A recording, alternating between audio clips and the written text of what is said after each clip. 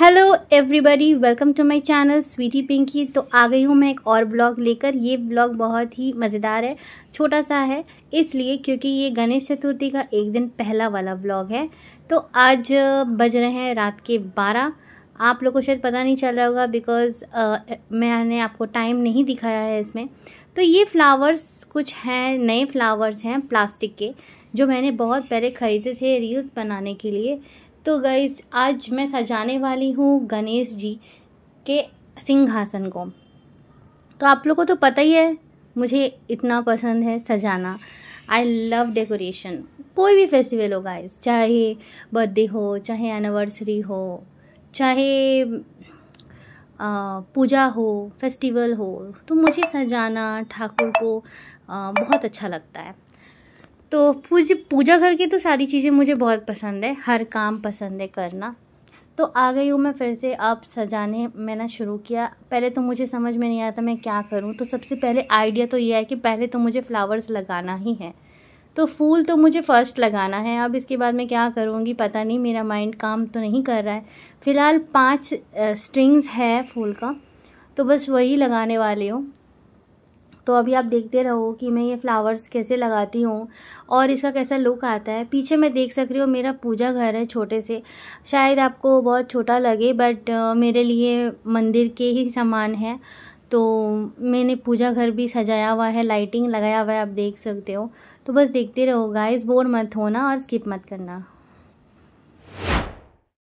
तो जल्दी जल्दी देखिए, मैं सारा फ्लावर्स लगा रही हूँ, खुद ही सेलेटिव पेन कर रही हूँ, खुद ही काट रही हूँ, खुद ही लगा रही हूँ, सब कुछ मैं अकेला कर रही हूँ, लेकिन मानी मन मुझे बहुत आनंद आ रहा है गाइज़ आप बोल नहीं सकते, मुझे ऐसा लग रहा है ना कि मैं अपने बच्चे के लिए ना उसके बर्थडे के लिए सेलिब्रेट कर रही हूँ, मुझे ऐसा फील आ रहा है.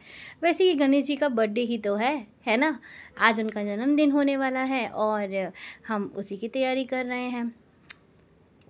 तो फाइनली हम लोग का चार फ्लावर्स लग गया है, चार स्ट्रिप्स और ये आखिरी स्ट्रिप में लगा रही हूँ। और इसके बाद देखते हैं इसका लुक कैसे आता है। चलो, देखते हैं। तो ये देखिए इसका लुक्स ऐसा आ रहा है। बिल्कुल फेस्टिव फील आ रहा है गाइस है ना? अब क्या करें? अब तो लग रहा है कि थोड़ा सा कुछ मिसिंग है, कुछ इनकम्प्लीट है। इतना में तो काफ़ी है नहीं तो कुछ और भी करना पड़ेगा। तो ये प्लास्टिक ना गाइज़ मेरे, मेरा कुछ डेकोरेशंस स्टॉक में था काफ़ी सारा।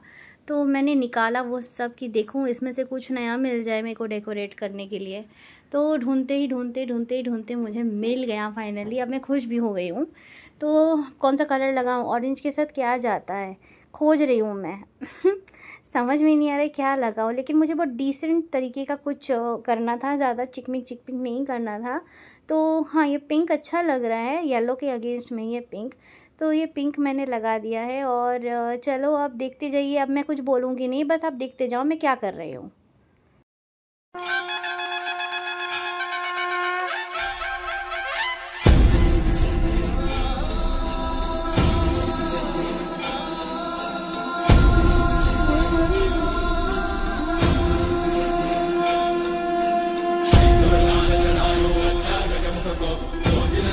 राजेश लगौरी हर को मांगलिए गुड़ लड्डू शाही सुरवर को महिमा कहीं न जाए राग तो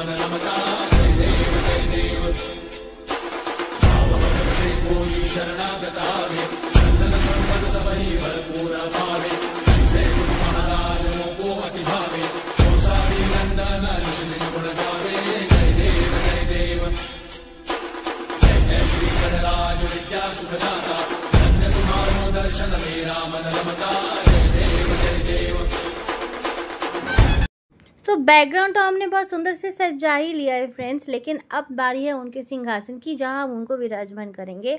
तो ये तो पीड़ा है मेरे पास, लेकिन इसको सजाएँगे कैसे? तो देखिए, मेरे पास ये एक लौता गोल्डन पेपर है। एक्चुअली इतने रात को मैं, मुझे पेपर मिल नहीं रहा था और मैं लाना भी भूल गई थी। जिसके लिए गणपति पापा से मैंने माफ़ी भी मांग लिया तो ये पेपर से मैं यूँ ही सजा रही हूँ। अब देखो ये गोल्डन पेपर से मैं रैप करूँगी क्योंकि थोड़ा तो स्टाइलिश बनता है ना उनको थोड़ा सा तो हमें अच्छा कुछ लुक्स देना है। तो गोल्डन एंड रेड मुझे सबसे बेस्ट लगता है पूजे पूजा वगैरह के समय। ग्रीन भी अच्छा लगता है लेकिन मुझे गोल्डन ज़्यादा अच्छा लगता है।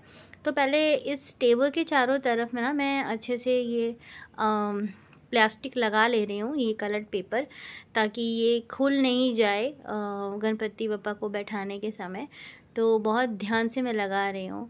तो गाइज़ आप भी बताइएगा ज़रूर कमेंट में कि आप लोगों को कैसा लगता है। जब आप लोग अपना घर सजाते हैं ना स्पेशली पूजा के लिए तो आपका मन, श्रद्धा, ध्यान मतलब पूरे उस चीज़ पे, उस पूजा में फोकस्ड रहता है। तो आप लोगों को कैसा फ़ील होता है? मेरे को तो मन में बहुत शांति आ रहा था, बहुत अच्छा लग रहा था। ऐसा लग रहा था कि मैं इस रूम से ही ना निकलूं। मैं बस यही काम करती रहूँ, मुझे और कोई काम ना कोई दे। मुझे बस यही काम करने दे तो मैं ठाकुर की सेवा सेवा में ही अपना सारा टाइम बिताऊँ। है ना? तो मैं बहुत इमोशनल भी हो जाती हूँ बहुत ज़्यादा, जहाँ ये सब मैटर आता है। तो एनीवेज छोड़िए, आप पहले बताओ कि देखिए ये रेडी हो चुका है तो मेरा ये शॉर्टकट कैसा लगा? आपके भी घर में अगर कुछ वैसा नहीं हो अरेंजमेंट तो आप शॉर्टकट में ऐसे कर सकते हैं। तो ये बै रेडी हो चुका है, और ये देखिए हमने बैठा दिया है गणपति बप्पा मोरिया। तो इनको मैंने विराजमान कर दिया है गाइस जब पूरा से मैंने इनको सजा दिया ना तो ये इतने अच्छे लग रहे थे इनके चेहरे पे इतना ग्लो था। ऐसा लग रहा था कि मनी मन्ना गणपति जी मुझे देखकर स्माइल कर रहे हैं और वो बहुत हैप्पी है कि उनकी प्लेस रेडी हो गई। वैसे भी आ, हम भी जब किसी के घर जाते हैं तो हम चाहते हैं कि हमारा प्लेस हमारा रिस्पेक्ट हमेशा हमें मिले। है ना गाइज़ तो ये बार बार मेरा हाथ जो सामने आ रहा है इसके लिए I am very very sorry क्योंकि वो स्क्रीन को थोड़ा मैं एडजस्ट करने का कोशिश कर रही थी क्योंकि मेरे पास पोजीशन ठीक नहीं मिल रहा था। आप लोग थोड़ा सा एडजस्ट कर लेना। आई होप आप लोग को क्लियरली दिख रहा हो। आ, मैं जो भी कर रही हूँ तो अगर नहीं दिख रहा है तो प्लीज़ थोड़ा सा एडजस्ट कर लीजिए बिकॉज़ सच में मुझे पोजीशन नहीं मिल रहा था।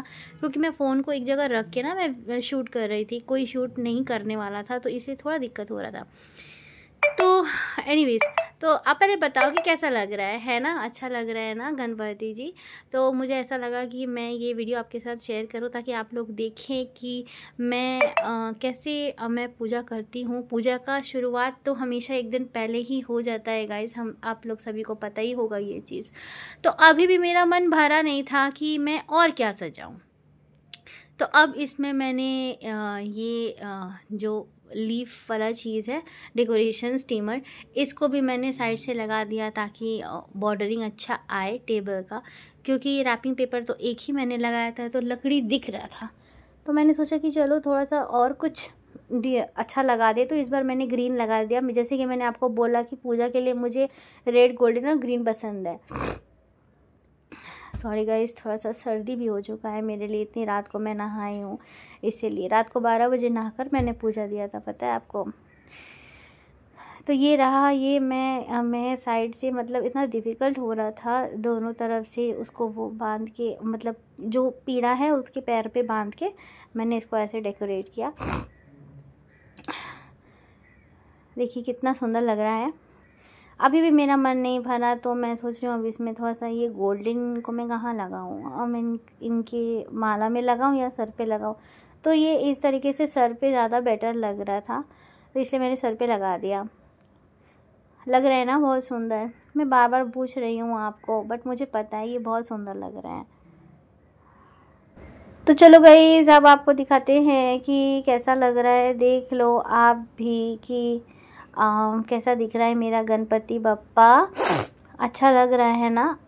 तो आज तो बस इतना ही गाइस आई होप आप लोगों को मेरी वीडियो अच्छी लगे। एक बार फिर से सब लोग मिलकर बोलो गणपति बप्पा मोरिया!